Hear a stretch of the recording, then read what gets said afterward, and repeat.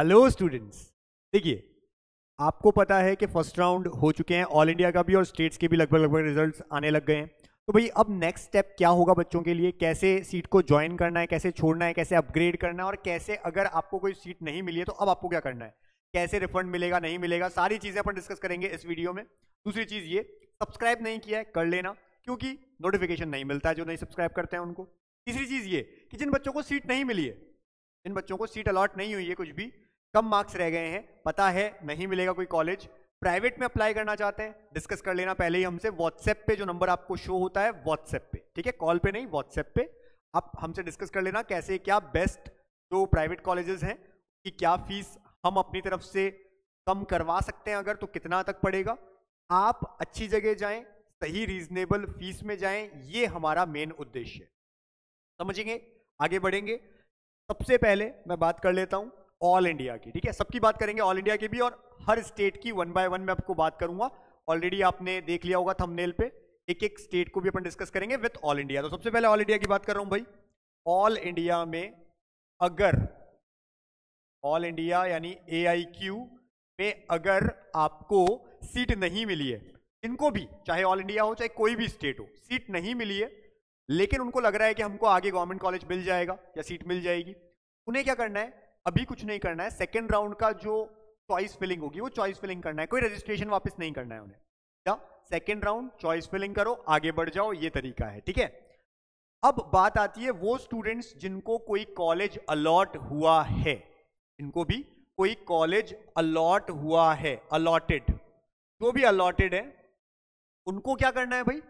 जो college allot हुआ है आपको, उसको उन्होंने या तो लेना है या छोड़ना है। अगर छोड़ना है तो उसका प्रोसेस क्या होता है? बच्चे पूछते रहते हैं हमसे, कोई प्रोसेस नहीं है, आपको कॉलेज लीव कर देना है, नहीं जाना है, कोई कहीं कुछ भी बोलने की ज़रूरत नहीं है। ऐसा भी हो रहा है कि एआईक्यू में बच्चों को जो नहीं जा रहे हैं, उनके पास कॉल आ रहे हैं आगे होके। अगर आपके पास कॉल आता है कॉलेज को कह दो, नहीं, हम रिपोर्टिंग नहीं करेंगे, हम सेकेंड राउंड में जाना चाहते हैं, बस हो गई आपकी बात। वो भी आगे होके कॉल आए तो आपको फ़ोन नहीं करना है, कहीं कुछ बोलना नहीं है कुछ। इसके अलावा, अभी तक ऐसा कोई ऑप्शन नहीं आया है कि कोई रिजाइन करने का या छोड़ने का? ऑनलाइन। देखते रहिएगा, अगर ऑप्शन आए, फ़िलहाल ऐसा कुछ नहीं है और ना आता था पहले भी। तो कुछ भी नहीं करना है उनको। लेकिन अगर अलॉट हो गई है सीट दो तरीके या तो सीट को ले लो, ठीक है? या तो ज्वाइन कर लो और ओके कर दो। या फिर क्या करना है आपको? अपग्रेड करना है। या फिर क्या करना है भाई?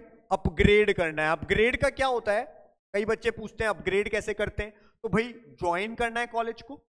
बोलना है साथ में कि भाई हम अपग्रेड कर रहे हैं, बोल के आना है आपको, ठीक है? क्या कहना है? कि हमें अपग्रेड करना है, कहाँ पर? एआईक्यू में। जैसे ही कॉलेज जो भी अलॉट हुआ है, वहाँ पर बोल देंगे ज्वाइंट है और अपग्रेड करना है आपको। जो बच्चे डीम्ड यूनिवर्सिटी ले रहे हैं, उनके पास भी कई तरह के ऑप्शन आ रहे हैं ऑनलाइन भी है ऑफलाइन भी है। अगर ऑनलाइन आप रिपोर्टिंग कर रहे हैं, अगर आप अपने पैसे जमा करवा रहे हैं, आप बता दें ऑफलाइन के लिए।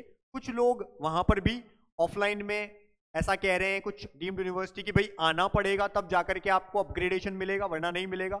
कुछ कह रहे हैं कि ठीक है, आप सबमिट कर दीजिए, हमको भेज दीजिए अपग्रेड आपका हो जाएगा, ठीक है?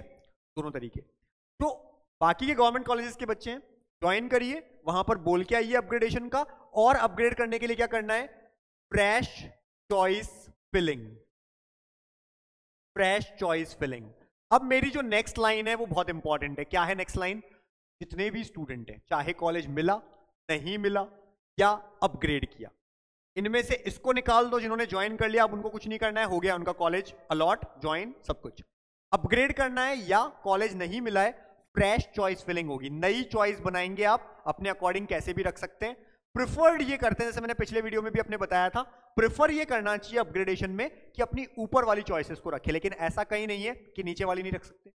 ऊपर जो है वही सीक्वेंस हो चेंज कर सकते हो पूरी सीक्वेंसेस को। ये आप ढंग से सुन लीजिए। सीक्वेंसेस चेंज कर सकते हो अपने हिसाब से लगा सकते हो।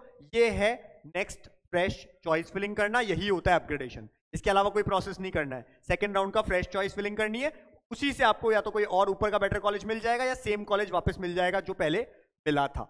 ये होता है अपग्रेडेशन अपग्रेडेशन लेने के लिए ज्वाइन करना ज़रूरी होता है। बिना ज्वाइन किए हुए अपग्रेड नहीं कर सकते। तो ए की बात कंप्लीट हो गई। नेक्स्ट स्टेप क्या रहेगा आपको समझ में आ गया है।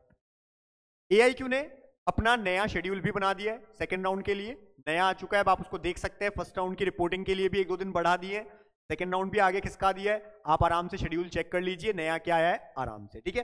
नेक्स्ट, अब अपन बात करते हैं भाई राजस्थान की। राजस्थान में क्या है?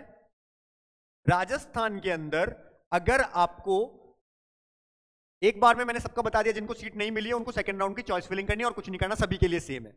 अगर राजस्थान में कोई कॉलेज अलॉट हुआ है अलॉट कॉलेज हुआ है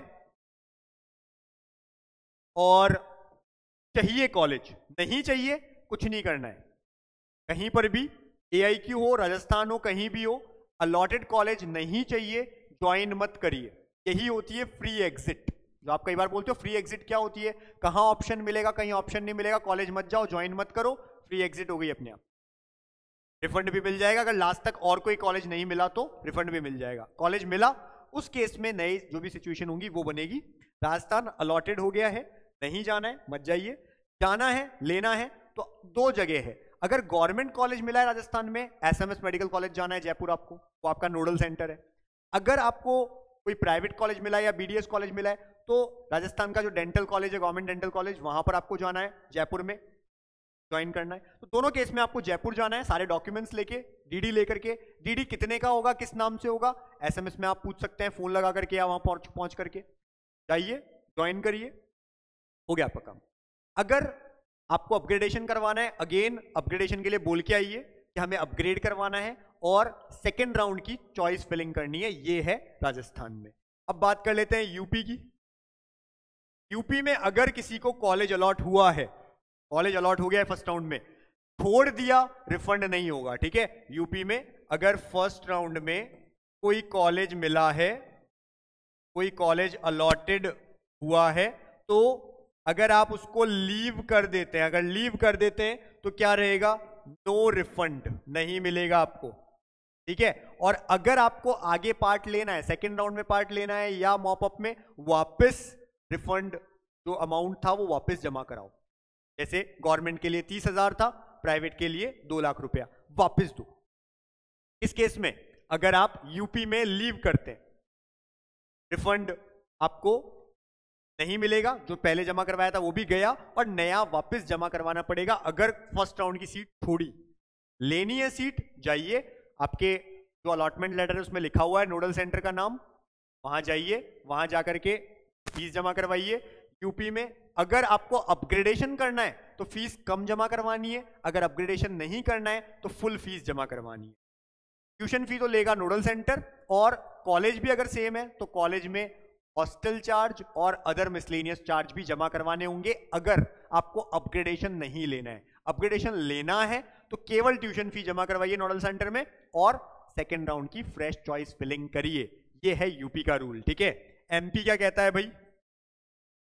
एमपी मध्य प्रदेश के अंदर फ़र्स्ट राउंड का कॉलेज लेना ज़रूरी है यहाँ की तरह, ठीक है? फ़र्स्ट राउंड का कॉलेज अगर आप छोड़ते हैं तो आगे के राउंड्स में आप पार्ट नहीं ले सकते हैं भाई। यूपी की तरह ही है यहाँ पे भी। फ़र्स्ट राउंड का कॉलेज लेना ज़रूरी है। फ़र्स्ट राउंड कॉलेज लेना ज़रूरी है भाई। लो, नहीं लोगे, आगे पार्ट नहीं लेने दिया जाएगा। लेकर के अपग्रेडेशन कर सकते हैं आप।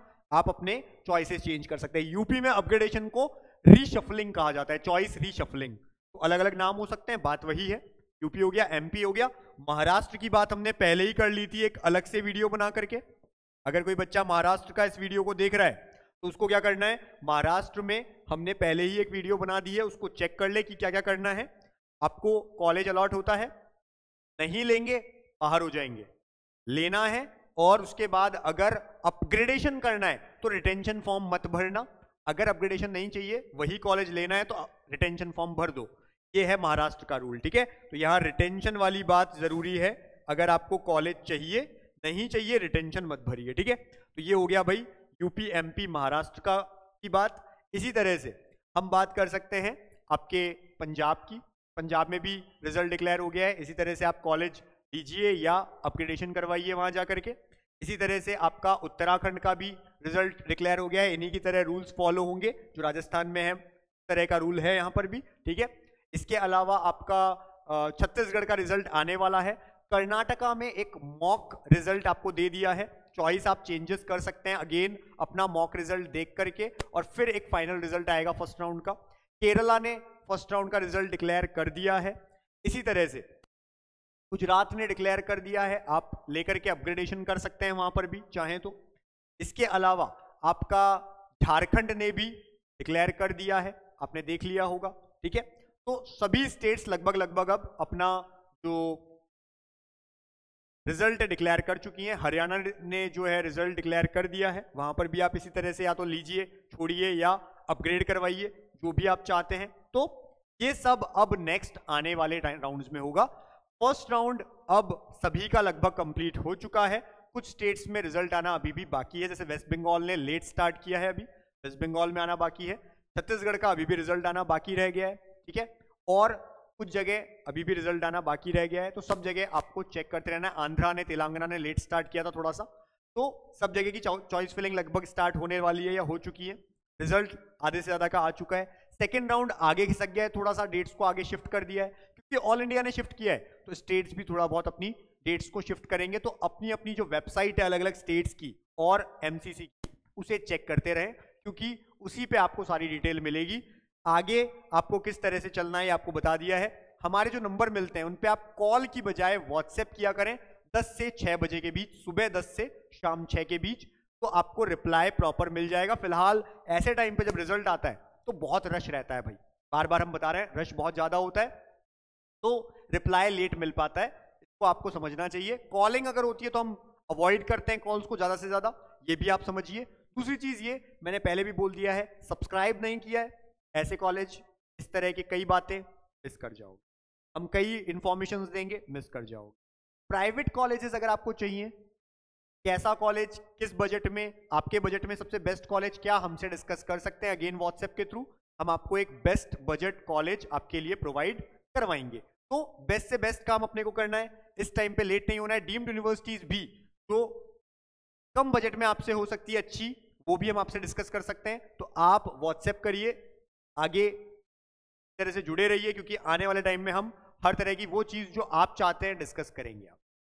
Thank you